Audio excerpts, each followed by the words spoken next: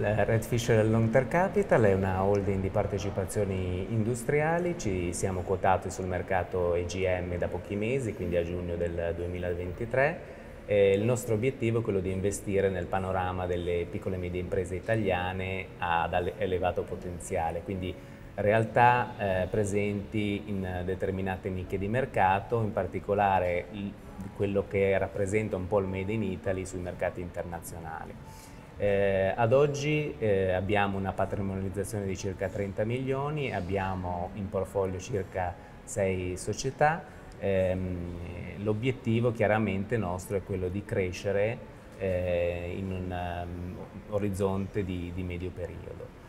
Eh, ad oggi eh, la nostra value proposition è quella di ehm, rappresentare e offrire agli imprenditori un partner di lungo periodo che possa affiancarli nei loro piani di sviluppo, quindi avere accanto una, un socio operativo, un imprenditore come è l'imprenditore italiano che lo affianca in questo percorso, percorso di crescita che può essere sia diciamo, in, diciamo, sulla parte acquisitiva, quindi nell'individuare delle target da acquisire, sia in ottica di internazionalizzazione, ma anche in un percorso di quotazione che possa portare ciascuna partecipante anche a questo stadio diciamo, intermedio eh, di sviluppo delle società. Sono tutte realtà sostanzialmente di una size media, quindi rappresentano l'imprenditoria ehm, italiana, e, e i nostri soci eh, eh, ci, ci, hanno seguito in questo percorso e vedono in noi sicuramente la possibilità con la quotazione tra l'altro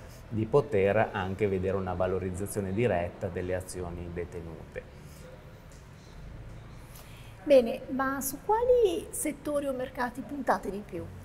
Ma diciamo noi oggi abbiamo chiaramente come holding una struttura di investimenti diversificata, quindi tendenzialmente possiamo offrire un, un, investimento con un rischio immediato, se poi vogliamo diciamo, definirlo in questa maniera, e abbiamo, ci siamo focalizzati sulla meccanica di precisione, sull'aerospace eh, in particolare. Quello che guardiamo in questo momento è sempre settori particolari del Made in Italy, quindi il design, il lighting, ma anche il mondo dell'healthcare, su, su cui crediamo eh, per alcune tipicità anche in ottica poi della Silver Economy che sarà una delle direttrici di sviluppo nei prossimi anni possa dare sicuramente i maggiori eh, ritorni anche in termini di, di creazione di valore.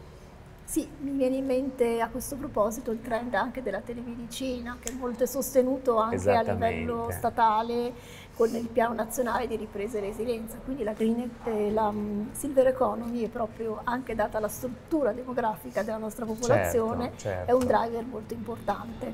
Alla luce di tutto questo, come sta andando il 2023 e come vede il 2024? Al ah, 2023 siamo stati molto, diciamo, ehm, soddisfatti dalla, dai risultati delle semestrali, chiaramente come holding abbiamo una rappresentazione eh, della semestrale a livello di emittente, ma poi una rappresentazione consolidata che poi eh, fornisce ai nostri investitori eh, come sono sostanzialmente eh, come hanno performato le nostre partecipate. Quindi chiaramente eh, il panorama è stato positivo, quindi sono tutte realtà in crescita, eh, ad oggi la holding ha una disponibilità di cassa superiore ai 10 milioni che andremo ad utilizzare proprio su operazioni che stiamo eh, guardando in questo momento che appunto si riferiscono ai settori che dicevamo poc'anzi.